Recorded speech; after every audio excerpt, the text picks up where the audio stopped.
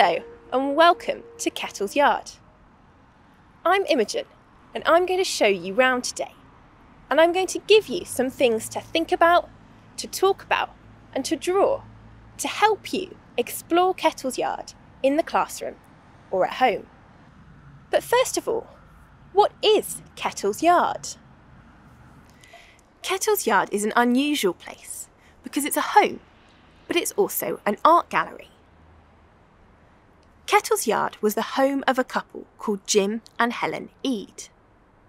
Jim and Helen loved art, and they thought that it was so important that it shouldn't just be something you encounter on a really special day when you go on an outing to a big museum, but instead, it should be part of your everyday life.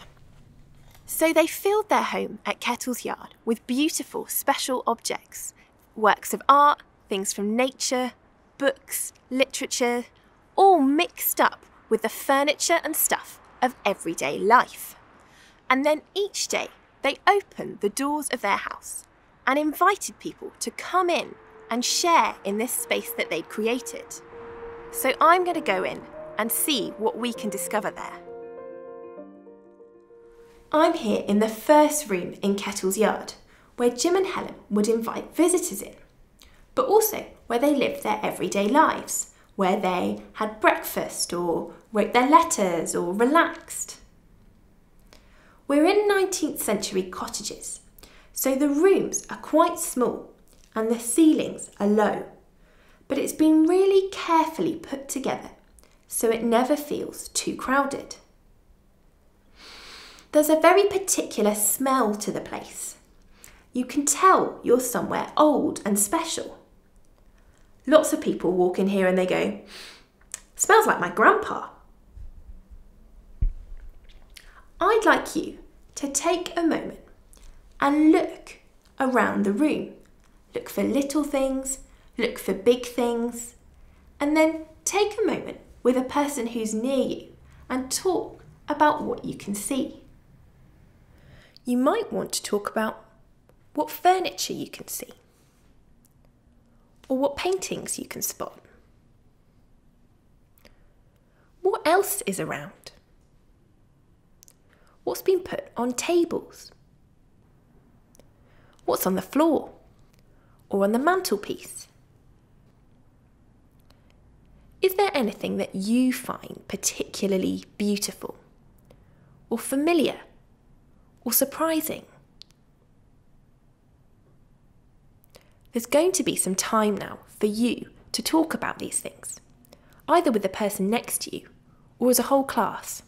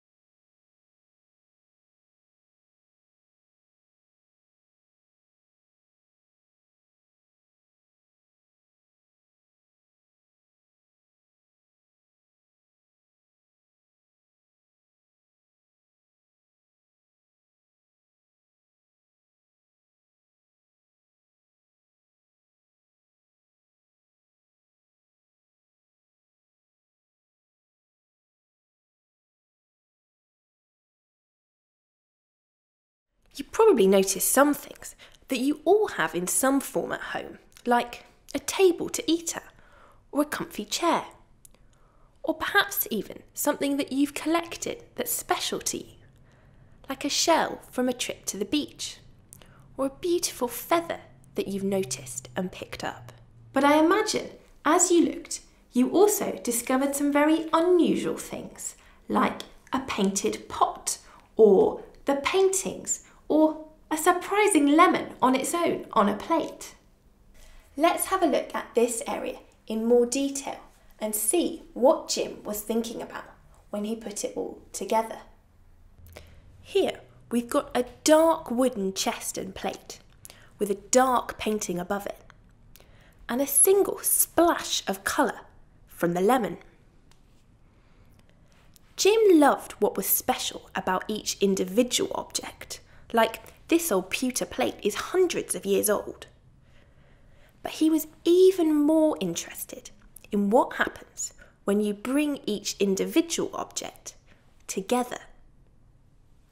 Suddenly, these darker scenes in the painting on dark furniture are lit up by the splash of colour from the lemon.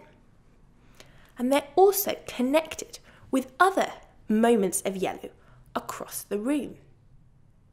Looking over here, we see a single yellow dot in this painting by the artist Joan Miro. Jim used to stand and put his hand over different parts of the painting to invite you to see how the whole thing looked different when you took one thing away. He used to say, if you blocked out the red dot, everything else bunched up so it looked like it was on the other side. It's exactly the same thing with Kettle's Yard. It's full of individual pieces, but each of them really affects how the whole room works together. So this yellow lemon sparks out towards this yellow dot. And then that dot connects over to the other side of the room where you've got bright yellow flowers sitting on a table opposite a painting that also has yellow flowers in. Every single element across the room working together to make a carefully balanced whole. Here in Jim's bedroom is another corner where we can see just how carefully Jim put Kettle's yard together.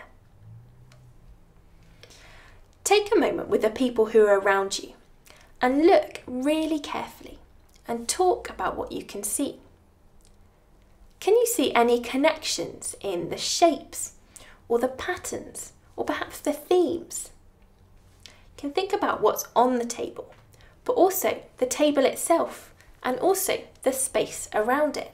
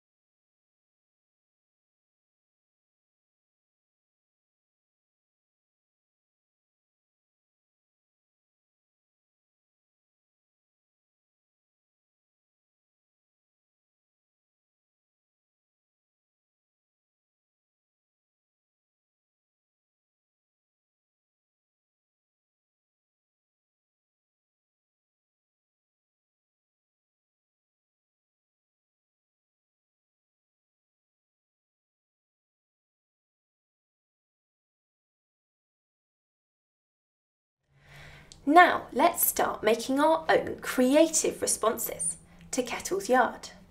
And we'll do that by starting with a simple drawing activity.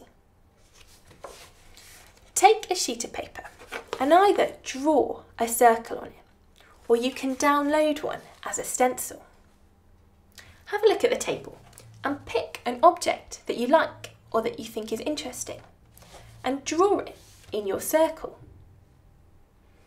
When you've done that, have a look at the space left around it. Do you want to add in another object, perhaps from the table, or just from your imagination? what might go well together. You could fill your table with lots of objects, or just put in a few. Don't worry about making it exactly right, but this is just a chance for you to start getting your imagination going.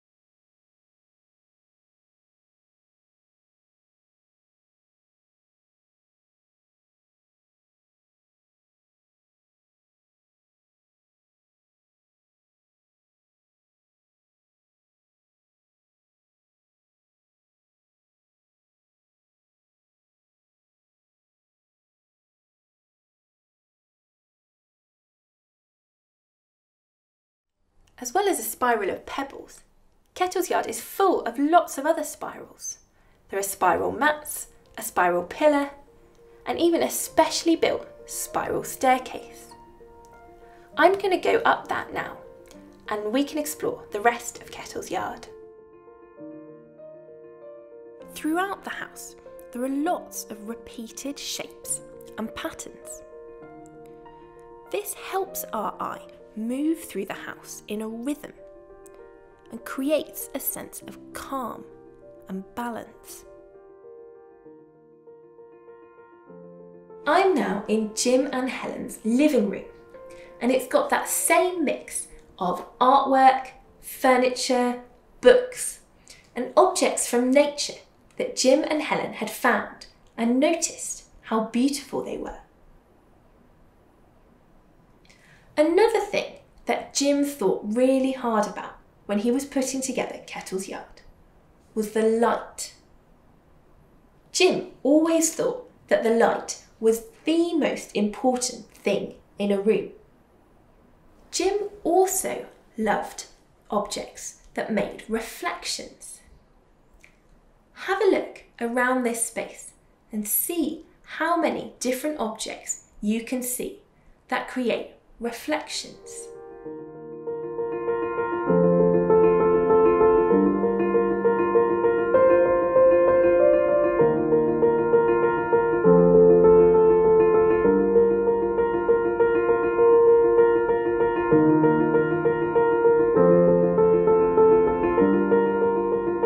Another way that Jim and Helen celebrated light at Kettle's Yard was by filling some of their windows with plants. This is one of my favourite spots in Kettle's Yard because it's so green and fresh and there's so much to see. There are lots of different plants of all sorts of shapes and sizes. Here we have a poem sculpture by the artist Ian Hamilton Finlay. There are shells and pebbles and special rocks that Jim and Helen had collected in different places as well as the leaves soaking up the light.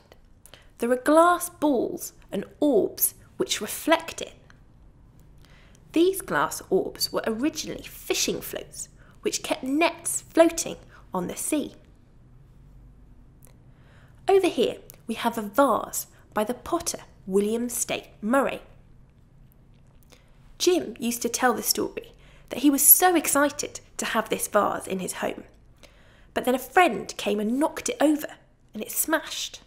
Jim would never throw away anything that was broken, but he would always find a way of celebrating its brokenness and doing something with it. So he got in touch with the potter who made it.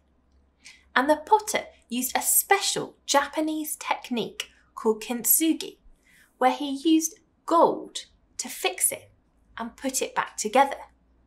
So now the object has its own special story and even more beauty to it.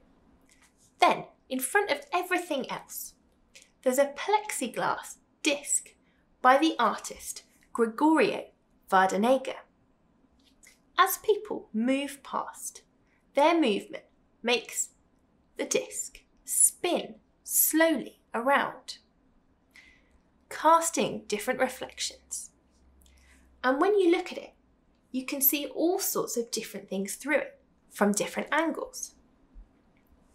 You can choose to look at the surface of the disc and see the different distortions of light on it. Or, perhaps if you get a bit closer, you can look through the disc and see the leaves and the roof beyond, magnified or transformed. Well, there's so much to see that I think it's over to you because the best way to look carefully is by drawing. So, what I'd like you to do is to take your paper and draw a circle on it, or you can use a printed out template. Then, I'd like you to get another sheet of paper and I'd like you to roll it up into a round shape like this round disc. Then take your paper and look at the window through it. You can move it around to try and find your favourite view through your viewfinder. Once you're there, stop, hold it close, and look very carefully. What has been framed through the view? Then take your time and draw what you can see in the circle on your paper. Don't worry about making it perfect, but it's about your view that you can see from your chosen spot.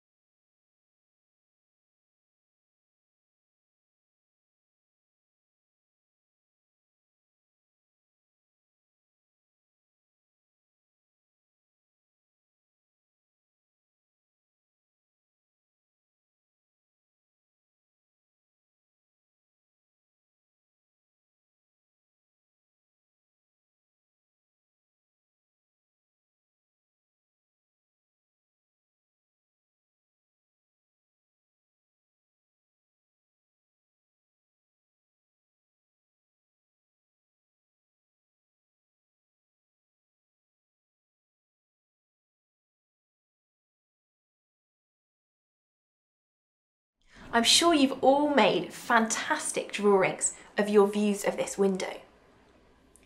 So far, we've been in a series of 19th century cottages that were knocked together into one to create Kettle's Yard. But we're now going to go through to a new bit, to an extension of these cottages. I'm here in the extension finished in 1970 to create more space for art and also music. It's much bigger. It even smells different. What differences can you notice? And how does it feel different to look at this space compared to the other parts of the house? Have a talk with the person next to you about what you've noticed that looks and feels different in this space.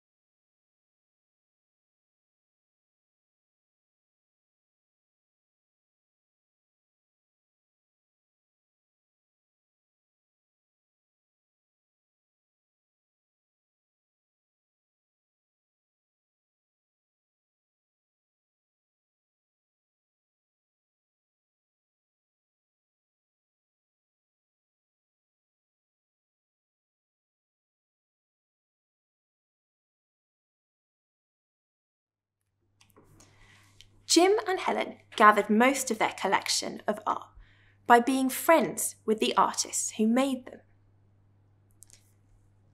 This wall is full of paintings by the artist Alfred Wallis. Although Jim never actually met Alfred Wallis, some other friends of theirs introduced them and they used to write letters to each other back and forth. And so all of these paintings were sent by Alfred Wallis to Jim in the post with a letter. Alfred Wallis's paintings are inspired by his memories of journeys he went on across the sea. Having these paintings on the wall reminded Jim and Helen of their own memories of being by the sea, or of their friends who lived by the sea. Just like other things like these shells that sit underneath the painting. I'm now in Kettle's Yard Library, where visitors are invited to sit down, pick up a book, get settled, and stay for a while. In fact, Kettle's Yard is full of chairs, and in normal times, when you visit in person, visitors are invited to sit down, get comfortable, and enjoy themselves in the different chairs. Jim believed that art was very powerful and could help us to slow down and stop in a busy, often overwhelming world. Jim himself had had a really difficult time in the First World War, and he wanted to create Kettle's Yard as a place of refuge and calm where you could step away from everything else and just stop. sit and look, surrounded by beauty. Each chair has been carefully positioned so that you can look at and notice different things that are in your eye line from that position. In the classroom or at home, try carefully moving your chair so that even though you're in the same spot, you're looking in a different direction.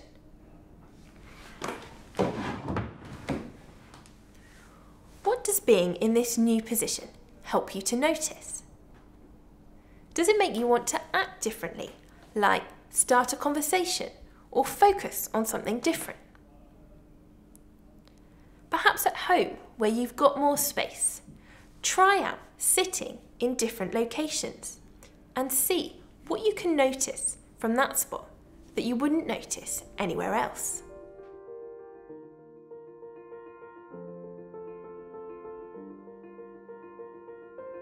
I'm here in the downstairs extension of Kettle's Yard. Helen Ede was a great musician and she played the piano. And she and Jim were fascinated by what happens when music and art come together.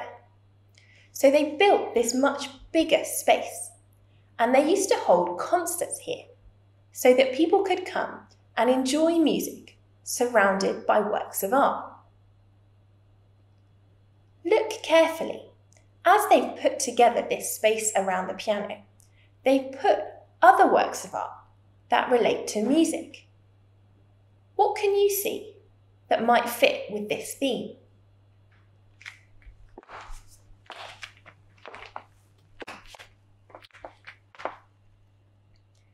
Here, we've got a painting by the artist Ben Nicholson showing a guitar and a violin joining together on a blocked background. Ben Nicholson was both a painter and a sculptor, and this painting has lines carved into the surface that seem to suggest the vibrations of the instruments as they play music. Another piece that relates to this theme is this sculpture Linear Construction in Space Number 1 by the artist Naum Gabo. This work is made from a plastic Perspex frame with thin nylon threads crossing it. Although the lines are actually straight, the arrangement makes them look curved and gives a sense of movement. In making the lines look like continual movement rather than a frozen moment in time, this sculpture has its own rhythms, which is brought out even more because it sits on top of a musical instrument and is next to a painting of another. Now, for our final activity, let's explore sound more together. In a minute, in the classroom or back at home, I'd like you to make a series of short sounds after three. And then I'll say stop. Please make sure that you do stop. So first of all, after three, all together, I'd like you to make a really high pitched sound. One, two, three. And stop. Second of all, all together, after three, I'd like you to make a really low pitched sound. One, two, three. And stop. Finally, all together, really quietly, I'd like you to make a sound at any pitch you want. One, two, three, and stop. Stay completely silent now. Could you hear any vibrations? Now we're going to think about what those different sounds that you've made might look like on the paper. How would you draw them? Would you draw them in wavy lines? Or spiky lines? Or dots? Or shapes? Have a think about how each sound would look and how they'd each be different. Take some time to do that back in the classroom.